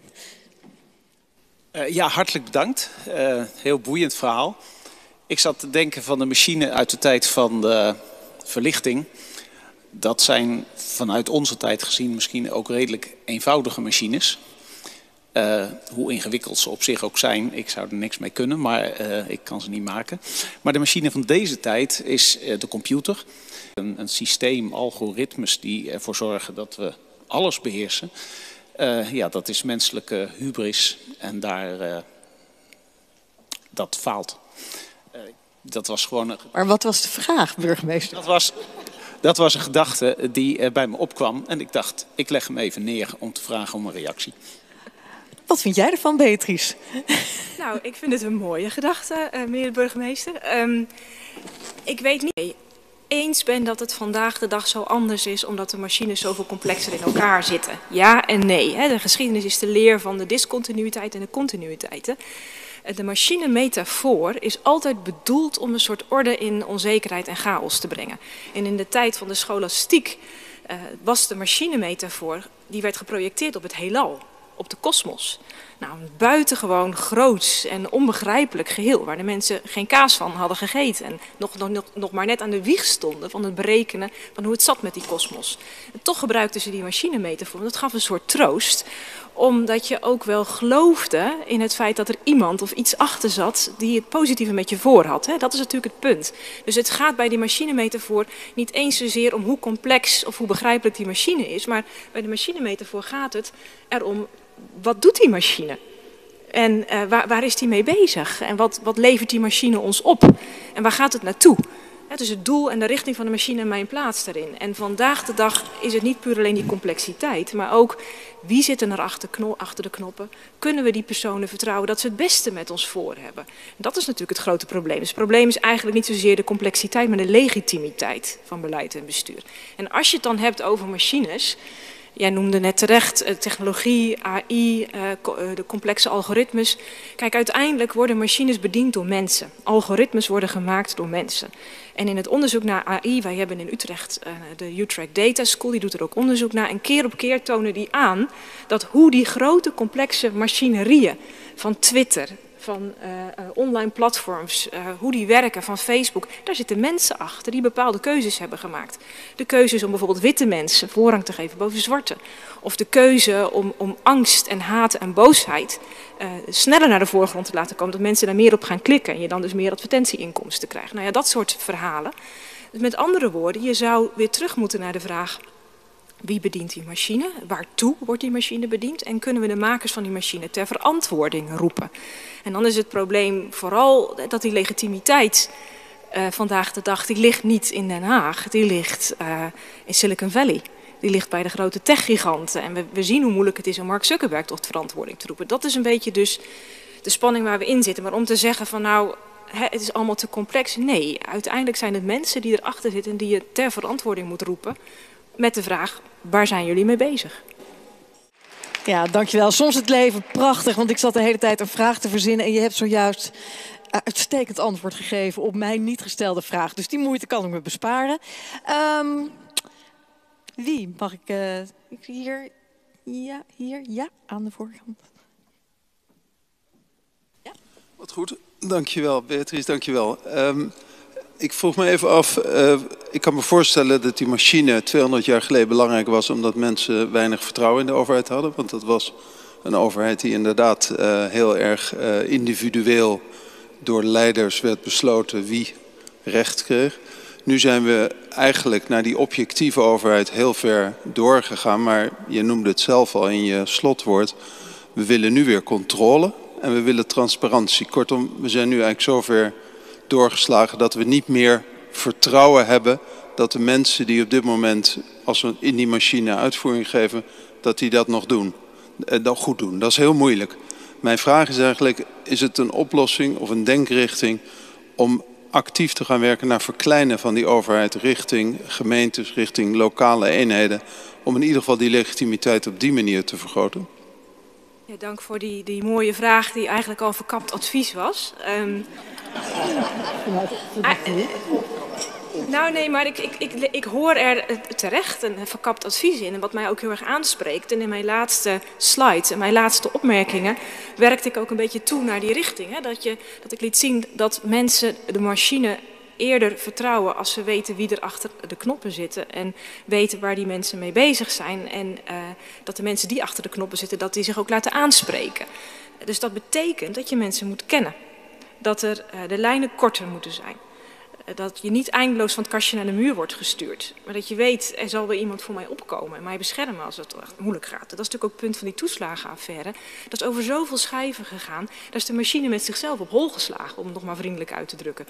Ik denk dat het heel moeilijk wordt om echt één schuldige aan te gaan wijzen. Van iemand die heel bewust gemeen een verkeerd postkaartje... Nee, dat is gewoon een optelsom van een machine die op hol slaat... omdat niemand voor elkaar die verantwoordelijkheid wil nemen. Zoiets. En als je dat weer kleinschalig maakt, mensen direct aanspreekbaar maakt, dan zou dat best kunnen helpen. Omgekeerd is het, is het wel bekend hè, dat het verlies van vertrouwen in overheden is het grootst in de regio's waar de centrale overheid heel erg is teruggetreden. Nou, daar kunnen andere mensen, burgemeesters, hier meer over vertellen dan ik. Maar die link lijkt er wel te bestaan. En als mensen dan dus niet meer direct een overheid, een politiekantoor ter plekke hebben, ja, dan gaan ze allerlei theorieën op social media geloven met elkaar delen. Dank. Um, uh, u zei, waartoe de machine? Is het niet zo dat al heel lang de machine een symbool was voor vooruitgang? En dat een van onze grote problemen op het ogenblik is dat we het geloof in de vooruitgang verloren zijn. Een van de interessante dingen van de verlichting was volgens mij vooruitgang. Hele mooie vraag. Eh, het doel van de machine was dat eeuwenlang niet. Het doel van de machine was de aarde en het systeem in stand te houden. De tijd was circulair, alles had zijn gebaande gang. De seizoenen kwamen en gingen. En uh, de machine, dat was met name de aarde en de hemellichaam en de planeten. En die moest je dan op een bepaalde manier berekenen. Uh, de persoon die ik noemde, Johannes Sacrobosco, is ook iemand die bijvoorbeeld heel veel tijd besteedde aan het uitrekenen van een kalender. En daar heel precies bij in de buurt kwam. Dus de tijd was niet zozeer gericht op vooruitgang. Het was meer gericht op het begrijpen van de tijd, hoe die zich ontwikkelt. En die ontwikkelde zich eigenlijk niet lineair, naar een, hè, uh, misschien ooit wel in de zin eschatologisch lineair, maar in het dagelijkse tijd was het meer de, de gang van de tijden, de opkomst en de ondergang van de zon te begrijpen in de tijd van de verlichting kwam daar het idee bij van de vooruitgang. En iemand als Bentham, die beloofde dat ook. Hè. Die zei ook echt, als je die bureaucratie nou op de juiste manier aanslingert... dan krijg je gewoon hè, uitgerold, dan komt er gewoon zoveel mogelijk welvaart, goed goederen voor iedereen. En uh, nou ja, er kwamen later ook berekeningen dat de wereldbevolking dan te groot zou worden. Die moest dan weer een beetje krimpen. Dat werd allemaal heel lineair berekend. Um, je zou kunnen zeggen dat het een modernistische visie is op de machine.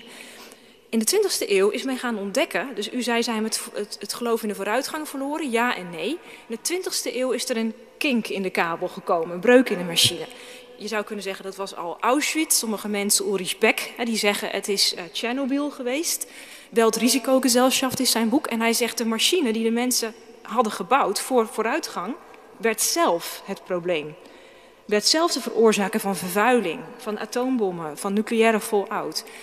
Dus in zoverre is die machine in discrediet geraakt. Tegelijkertijd is de machine van de overheid, dat is misschien wel de enige machine waar nog steeds heel veel mensen wel degelijk geloof in hechten. Want bij alles wat er misgaat, kijkt men naar de overheid dus het vertrouwen is gekelderd, maar tegelijkertijd is er geen andere instantie die, dan, die er dan wordt op, aangesproken. Er zit nog steeds een soort modernistisch vooruitgangsgeloof. De overheid moet ons helpen. Een verlies van vertrouwen, dat betekent niet meer dat mensen zeggen, nou, ik ben onverschillig, laat die overheid. Maar nee, ze worden boos en ze gaan dreigen. Dat betekent dat er nog wel een relatie is. En dat is dus een beetje een probleem. Dus we zitten in een soort postmodern paradigma dat de machine zelf vooral soms ook onheil produceert. En aan de andere kant burgers en de samenleving die juist willen dat die machine er ook voor hen is. Dat jonge mensen een huis kunnen kopen. Dat ze eindelijk gewoon eerlijk een toeslag terug kunnen krijgen. Dus ik zou niet willen zeggen dat mensen het geloof in de vooruitgang hebben verloren. Ik denk eerder dat mensen het gevoel hebben dat de machine er niet meer voor hen is. Dankjewel. Trouwens, er zaten ook woorden van hoop uh, voor de aanwezige volksvertegenwoordigers uh, tussen, hoorde ik. Zolang wij worden beschimd en uh, nageroepen... Sorry. I wonder, could I just say something uh, in answer to the last question about uh, the Enlightenment and the idea of progress? Um, I, I, I, agree with most things that were said, but I, I do think that um, one shouldn't, it is important that we um, take care not to simplify the Enlightenment's idea of progress. Um, it's true that on the whole, they had a stronger idea of progress perhaps than we have now. I think that is probably true. But many of the finest Enlightenment writers introduced many qualifications into this discussion. A good example would be the Scottish enlightener Adam Ferguson, for example. But Ferguson thought that uh, if you look at society as a whole, then our technical abilities and technological abilities, as is obvious, have become more and more complex and progress. But if you look at the individual capacity of each person uh, and compare what one individual can do today, if you let him loose in the wild, say in a forest or in a desert or somewhere, and compare him to the hunter gatherer of primitive times, he would be much less able to find food and take care of himself uh, than that primitive person would be. Uh, because in that respect, we've gone backwards, not forwards. So our individual capacities are often less. And also, he thought there hadn't been any moral progress at all because the moral level of individuals today, uh, he thought that perhaps we got better as regards gender relations, that, that men are slightly less brutal towards women than they were thousands of years ago. Whether that is true or not, I don't know. Uh, but he did think that uh, with that one exception, uh, we hadn't made any moral progress. And I think most of the great Enlightenment thinkers, actually, uh, if you take Spinoza, for example, who's one of the most uh, important figures, certainly in influencing the 18th century and the Enlightenment, uh, but many others as well, they were extremely um, doubtful of whether society would be able completely to um, contain and subdue intolerance and bigotry and uh, superstition and ignorance, the things that they thought lead to wrong thinking, as we see in our own time, they indeed they do, and pose a constant threat to society. So whether that we would really overcome those social dangers, I think Enlightenment thinkers saw regarded this whole discussion with with uh, a certain amount of skepticism. Thank you for your reflection. And uh, Beatrice would like to answer to that. Maybe you can do it in English. It's, it'd be easier. Okay. Thank you, Professor uh, Israel, for engaging with, with the discussion here. This is extremely fascinating, how the Enlightenment thinkers thought about progress, and also how they used the metaphor of the machine in this discussion. And I pointed out in my lecture that for Thomas Hobbes, the machine the machina mundi, the world as a machine, as uh, uh, engineered by God Himself, was not enough anymore to deal with exactly what you said the brutality of people in society. Life is nasty, brutish, and short. Is, is famous, one of his famous first sentences is Le Leviathan.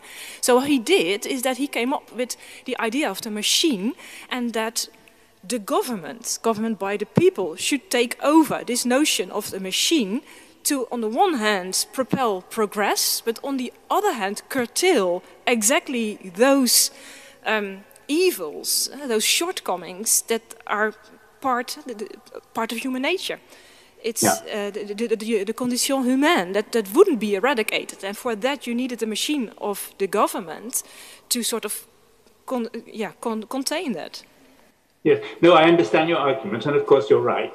Uh, but that doesn't fully answer the doubts and skepticism that many felt that uh, the dangers were still there, and would this machine work? Certainly. I mean, there were plenty, there was plenty of doubt about that at the same time.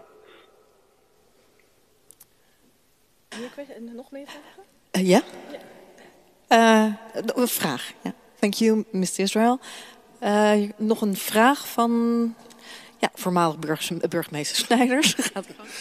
Beatrice, dankjewel voor dit mooie verhaal. Buitengewoon urgent. En die legitimiteit is inderdaad een groot... Ja, iets wat ons allen bezighoudt. Hoe mooi zou het niet zijn als we binnen de Hollandse maatschappij... dit onderwerp eens wat verder uit zouden diepen... en uh, te bedenken hoe dit beter kan. Maar in jouw uh, uh, verhaal vind ik dat je de verantwoordelijkheid voor het uh, goede functioneren van die machine misschien wel erg veel bij politici en bestuurders legt.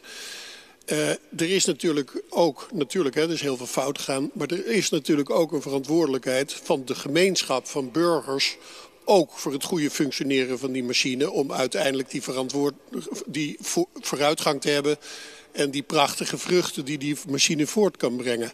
Maar dat vraagt ook iets van burgers. Ik, ik ben ervan overtuigd dat politici en ook uh, bestuurders ook echt hun best doen om bekend te zijn, om aanwezig te zijn, om te horen wat er leeft. Maar het zou fijn zijn als ook burgers daar een verantwoordelijkheid nemen en dat er toch een nieuw type burgerschap zo langzamerhand zou ontstaan, waarbij ook burgers weer verantwoordelijkheid nemen voor de publieke zaken. Wat vind je daarvan? Ja, wij maken in de gemeenteraad altijd onderscheid tussen technische vragen en politieke vragen. Nou, dit is een duidelijke politieke vraag, maar u mag toch uh, antwoord geven, professor. De vraag is uh, wat ik daarvan vond. Nou, ik vind dat prima, wat uh, de burgemeester zegt. en nu een serieus antwoord. natuurlijk, kijk, de overheid als machine, dat was de titel van mijn lezing. Een volgende lezing zou misschien een keer kunnen gaan, de burger in de machine, de ghost in de machine. Um, het interessante is precies die vraag. Uh, hoe komt vandaag de dag burgerschap tot stand? Wat zijn burgers? Welke burgers bemoeien zich tegen burgerschap en een machine aan.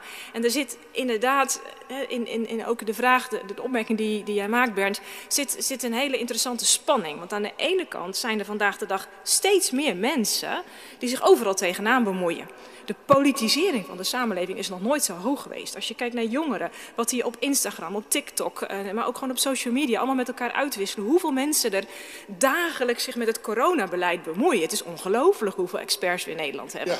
Dus je zou kunnen zeggen dat deze tijden juist bol staan van, van extreme vormen van burgerschap. Van iedereen bemoeit zich overal tegenaan. De vraag is natuurlijk, wil die burger dan ook verantwoordelijkheid dragen? en kan die daar dan ook op aangesproken worden? En dat is natuurlijk heel erg moeilijk, want de, de, de capaciteit om je te uiten, om te zenden, om mee te praten is extreem hoog. Via één tweet zit je meteen in het hart van een debat. En als je geluk hebt gaat de minister ook nog terugtweeten. Dat gebeurt. Uh, maar aan de andere kant draagt die burger niet verantwoordelijkheid. Hij raakt daar in toenemende mate ook gefrustreerd door. Hij roept van alles, maar er gebeurt vervolgens niks. Dus er zit een soort, soort scheve scheve verhouding tussen de mate waarin iedereen meepraat en de mate waarin mensen verantwoordelijkheid dragen, kunnen dragen en willen dragen. En dat heb ik ook nog niet 1, 2, 3 opgelost. David van der Rijbroek heeft er al voorstellen voor gedaan. Uh, er worden ook voorstellen gedaan om de kiesdrempel te verlagen. Um, je kunt aan van alles en nog wat denken. Waarom zijn kinderen tot een 23ste zijn ze nog thuis financieel afhankelijk van hun ouders? Uh, en mogen ze, mogen ze nog niet, zoals al wel zeg maar, op Twitter, volledig actief zijn? Dus ik heb geen antwoord op jouw vraag, Bernd. Maar ik denk wel dat het waardevol is om daar met elkaar verder over te denken. Dankjewel Beatrice. Ik, ik krijg net doorgezeind dat uh, de nacht is ingevallen over Haarlem. U kunt het ook zien, het is inmiddels uh, pikdonker. Dus wij moeten helaas moeten we deze uh, uh, lezing afronden. Hoe spijtig dat ook is, want ik begon net een beetje leuk te worden. Wat mij betreft. Nou, ik vond daarvoor ook al leuk hoor, maar dit vond ik ook heel leuk. Um, dus ik wil graag uh, Marianne Scharlo uitnodigen om het afscheidswoord te spreken. Dank wel. En thank you, Mr. Israel. En dank wel, Beatrice.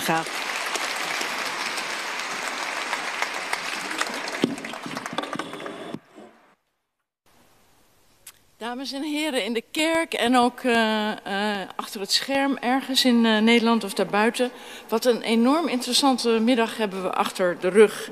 waarin de actualiteit en de relevantie van de verlichting op heel veel manieren aan bod kwam, inclusief de technologie. graag wil ik onze twee sprekers heel erg hartelijk danken voor hun bijdrage vanmiddag.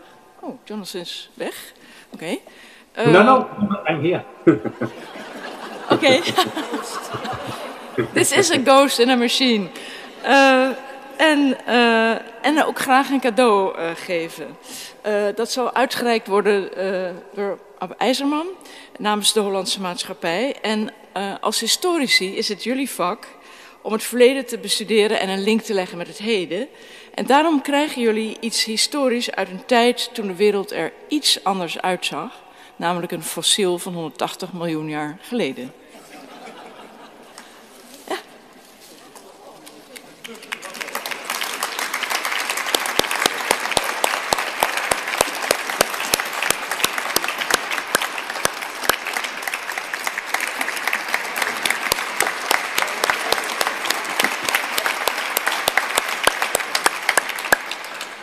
Jonathan, I hope you understood what we will be sending to you uh, through the post. Um, as a professional historian, I'm sure you could do with some extra source material, and in this case, it's a 180 million years old fossil. Wonderful. Uh, how, how absolutely marvelous. Thank you. en dank aan Ziggy voor het voortreffelijk modereren van deze middag.